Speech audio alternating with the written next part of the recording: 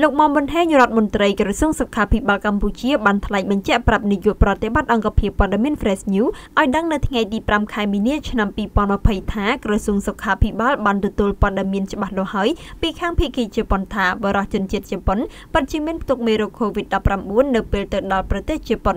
លោករដ្ឋមន្ត្រីមុំប៊ុនហេងបានបញ្ជាក់យ៉ាងដូចនេះថាក្រសួងសុខាភិបាលសូមជម្រាបជូនសាធារណជនឲ្យបានជ្រាបថាក្រោយពីទទួលបានព័ត៌មាននេះច្បាស់លាស់ពីការឆ្លងជំងឺ COVID-19 លើបរិសុជនជាតិជប៉ុនក្រសួងនិងអាជ្ញាធរខេត្តសៀមរាបកំពុងធ្វើការលើករណីនេះដោយដំណាភាពបំផុតដើម្បីជៀសវាងការភ័យខ្លាចពីសំណាក់ប្រជាពលរដ្ឋនិងធ្វើការប្រកបដោយភាពត្រឹមត្រូវបំផុតទៅតាមនីតិវិធីរបស់អង្គការសុខភាពពិភពលោកលោករដ្ឋមន្ត្រីបានបន្ថែមទៀតថានៅពេលនេះក្រមមន្ត្រីសុខាភិបាលនិងអាជ្ញាធរមូលដ្ឋានកំពុងស្រាវជ្រាវតាមដានយ៉ាងយកចិត្តទុកដាក់ជាទីបំផុតដើម្បីរកអ្នកដែលមានទំនាក់ទំនងនិងនៅក្បែរបរិសុជនជាតិជប៉ុននោះដើម្បីធ្វើការត្រួតពិនិត្យនិងដាក់ឲ្យនៅដាច់ដោយឡែកពីគេលោករដ្ឋមន្ត្រីបានថ្លែងបន្ថែមថាបរិសុជនជាតិជប៉ុនរូបនេះជាធុរជនប្រកបអាជីវកម្មអន្តរជាតិចិញ្ចូលច្រើនប្រទេសមិនមែនមកដំណើរកំសាន្តលក្ខណៈទេសចរនោះទេដូច្នេះយើងត្រូវតាមដានត្រួតពិនិត្យយ៉ាងយកចិត្តទុកដាក់ជាទីបំផុតចំពោះករណីនេះរូបគាត់បានឆ្លងកាត់ប្រទេសកម្ពុជាវៀតណាមថៃហ្វីលីពីននិងជប៉ុន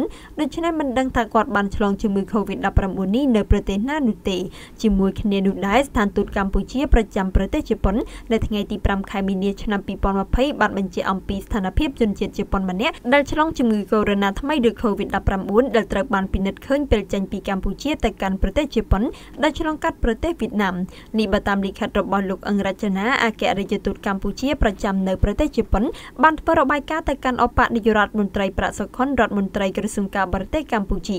លោកអង្រចនាអគ្គរដ្ឋទូតកម្ពុជាប្រចាំនៅប្រទេសជប៉ុនបានបញ្ជាក់ថាបរិសុជនជាតិជប៉ុនម្នាក់នោះត្រូវបានរកឃើញមានផ្ទុកជំងឺ COVID-19 ពេលទៅដល់អាកាសយានដ្ឋានឈូប៊ូនៃទីក្រុង Nagoya ប្រទេសជប៉ុននៅពេលគាត់ទៅពិភាក្សាជាមួយក្រុមមន្ត្រីចតាល័យស័កដោយសារគាត់ពិបាកដកដង្ហើមបរិសុរូបនេះបរិសុរូបនេះបានចាក់ចេញពីអាកាសយានដ្ឋានសៀមរាបនៅម៉ោង